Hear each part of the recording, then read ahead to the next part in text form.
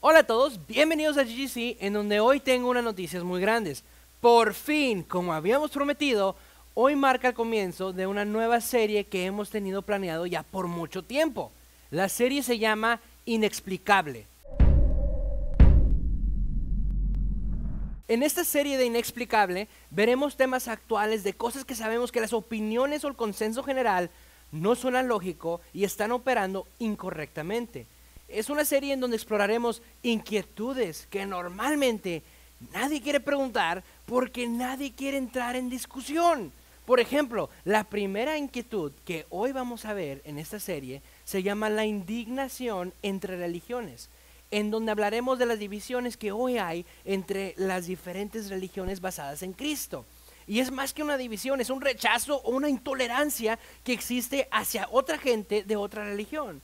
Y esto ha escalado tanto que hasta líderes le piden a miembros de su iglesia que no se junten con los perdidos de la otra religión, ni que tengan conversaciones con esa chusma. No te juntes con esta chusma. Sí, mami. Chusma, chusma. Eso es un problema verdadero. Hay gente que hasta se siente como que si estuvieran traicionando a Dios cuando se juntan con otra gente que no es de su religión. Y no sé tú, pero mi inquietud es que a mí no me encaja como una religión basada en Cristo se puede sentir o actuar de esa manera. Y lo interesante es que esto no es un tema nuevo. O sea, esto ha existido desde los tiempos de Jesús. Por ejemplo, hubo una ocasión en donde se acercan unos ciegos y unos cojos con Jesús y Él los empieza a sanar. Pero aquí está el problema. Cuando los principales sacerdotes y los escribas vieron las maravillas que había hecho y los muchachos que gritaban en el templo que decían, sana al hijo de David, se indignaron. O sea, Cristo empieza sanando a gente que jamás podía ver, a gente que jamás podía caminar, y en vez de decir, ¡aso! ¡Qué buena onda! ¡Qué padre! Los líderes se sintieron indignados, se ofendieron. Y yo me quedo sorprendido con esta historia porque ¿cómo es posible que la religión te cegue a apreciar el bien que está haciendo la otra persona? Y esto no fue la primera vez, ni fue la última vez. Había más ocasiones, como cuando los fariseos, o sea, los meros meros, los hardliners de la religión, le traen a Jesús un hombre que tenía seca una mano, pero no con las intenciones de verlo sano, sino con el fin de ver si en el día de reposo Jesús lo sanaría porque la ley en ese entonces era que en el día de reposo no se puede trabajar. Y Cristo, percibiendo sus corazones, les pregunta, ¿es lícito en los días de reposo hacer bien o hacer mal? ¿Salvar la vida o quitarla? Pero ellos no respondieron nada. Entonces Jesús, mirándolos alrededor con enojo, entristecido por la dureza de sus corazones, sana al hombre. Y los fariseos fueron a tomar consejo con los herodianos contra Cristo para poder destruirle. Para los que no están muy familiarizados con el conflicto entre Cristo y los fariseos, esto debería aclarar todo. El choque entre los fariseos y Cristo nunca fue sobre la ley ni la doctrina. No, el choque siempre fue con la dureza del corazón de estos hombres religiosos de hacer un lado su ego y hacer el bien, sea día de reposo o no. Ellos pensaban que Dios se encuentra en la religión, que Dios era una etiqueta, pero Cristo vino a decirles que Dios no está en tu título, Dios no está en una religión.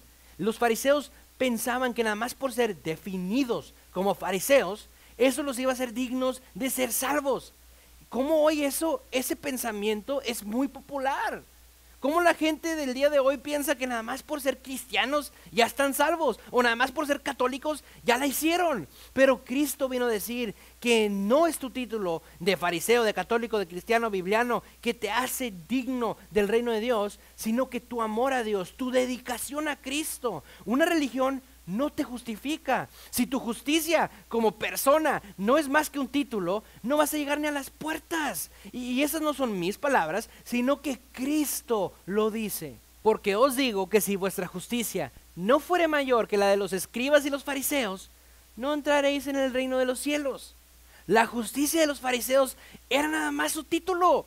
Y aquí Cristo está diciendo que tu relación con Dios tiene que ser más que un título.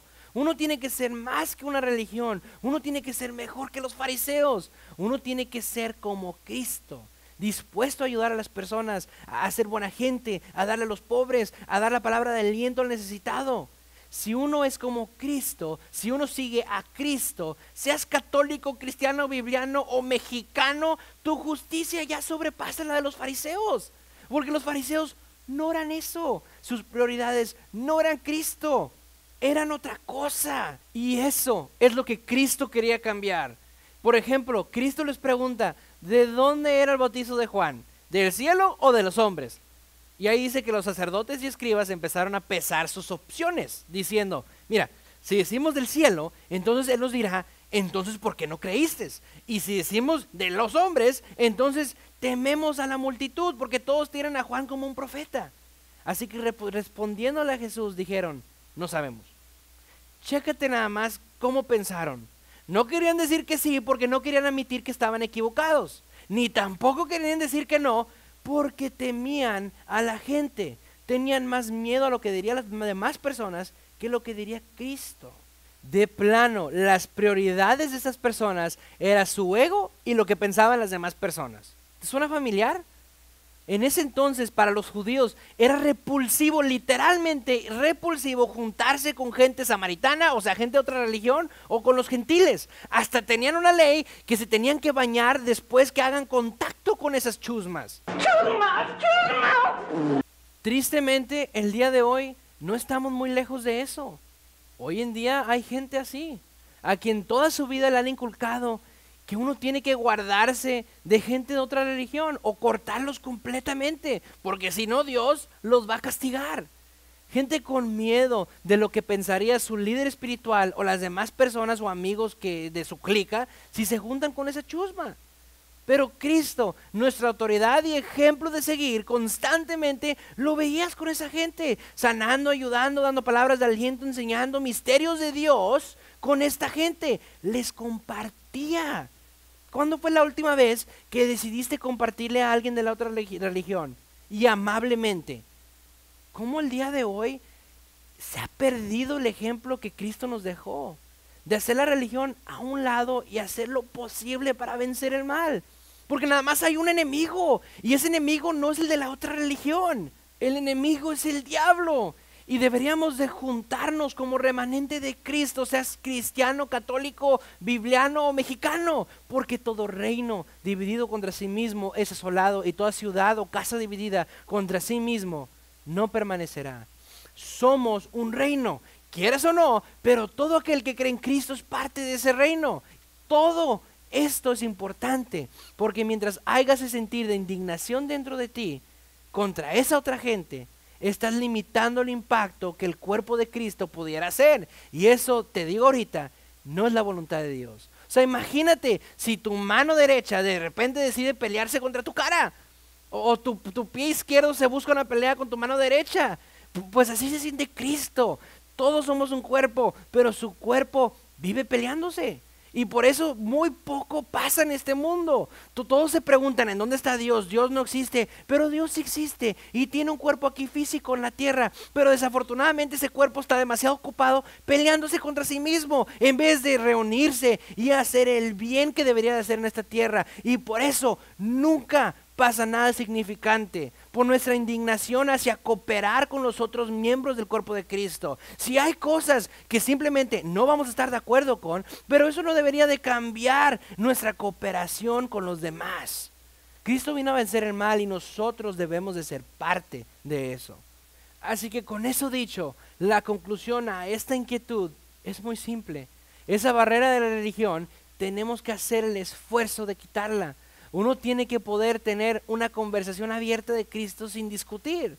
O sea, imagínate el bien que se pudiera hacer si toda la gente que está dispuesta a servir a, Cristo se junta con un solo propósito, con una sola mentalidad de hacer a este mundo mejor. Sería tremendo el impacto. ahorita eh, el mal gana, porque el mal está junto y los buenos no. Pero cuando el cuerpo de Dios está junto, el mal no puede ganar. Así que terminamos el tema con este versículo que está en 1 Pedro 3.8. Finalmente, sed todos de un buen mismo sentir, compasivos, amándoos fraternalmente, misericordiosos, amigables. Cristo no te está diciendo que estés de acuerdo con la otra persona. Va a haber diferencias, va a haber doctrinas diferentes, la mano es diferente que la cara, el pie es diferente que la mano, va a haber diferencias. Pero lo que Cristo te está diciendo es que estés de acuerdo con Él, en hacer el bien, en juntarse con estas personas amigablemente, misericordiosamente, fraternalmente, con amor, en un mismo plan de hacer el bien, como un cuerpo, como Dios se envisionó esto. Espero que el mensaje de hoy aclaró el tema de cómo uno debería de comportarse con los de las otras creencias, pero sobre todo espero que aclaró la mentalidad que uno debe tener. La mentalidad no debe de ser tu religión, tu doctrina, sino que la mentalidad que uno debe de tener es como lo que dice Pedro, amor, misericordia, compasión y amistad con todos, porque esa es la voluntad de Cristo. Así fue, fue, Cristo con todos, así fue Cristo conmigo cuando yo fui duro de corazón. Y así es como debemos de ser nosotros. Así que espero que este primer episodio de, de esta serie de Inexplicable les gustó y sobre todo ayudó. Y acuérdense, el cambio empieza en tu casa. No esperes a que la otra persona cambie. Todo esto es para que tú lo cambies y cuando tú lo haces, Dios ve que lo haces y Dios premia. Así que gracias por acompañarnos el día de hoy.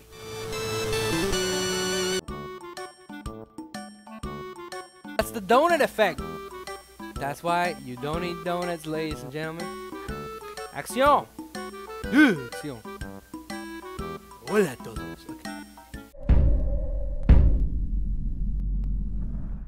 Si te gustó este video, suscríbete. Si te ayudó el mensaje, compártelo. Nunca sabes a quién le va a servir. Y para nosotros también es una motivación tremenda porque vienen más cosas a este canal. Dios te está hablando. Muchas gracias por acompañarnos. Nos vemos la próxima semana, el mismo día, la misma hora.